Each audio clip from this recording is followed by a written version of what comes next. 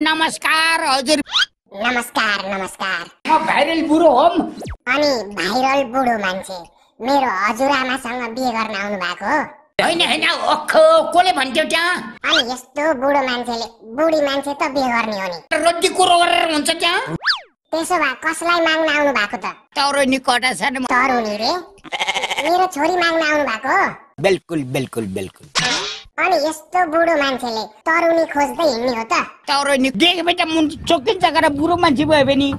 यस्तो बुढो मान्छेलाई तरुनी छोरी कसले दिन्छ त?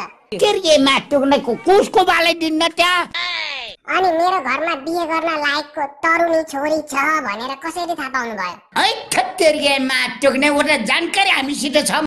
तर बुढो मान्छेलाई छोरी नदिनु भन्छन् नि। कुटेर बाउले भन्छ। अब बिहे गर्ने भनेपछि त जागिर गर्नुहुन्छ होला नि। गरेको गरे हो। एउटा एउटा दाउरा भान्दैन कि मैले? अनि कमाइ नै नगरी कसरी पाल्नुहुन्छ त मेरो छोरी? त्यो कुरो बिल्कुल गर्न मिल्ने मिल्दैन। कुन कुरा गर्न मिल्छ त?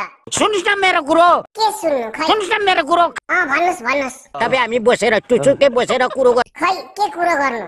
कुरो मिला जस्तो छैन।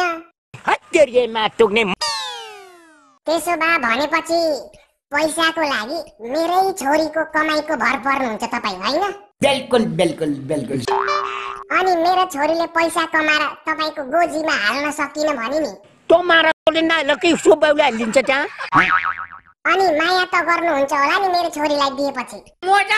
जसले पैसा दिन्छ उसले त मजा गर्न त पर्यो मेरो छोरीले तपाईँलाई पैसा दिएन भने चाहिँ नाटा नाटा बुढी छोरी छैन बस्काएर पठाइदिन्छ मामले।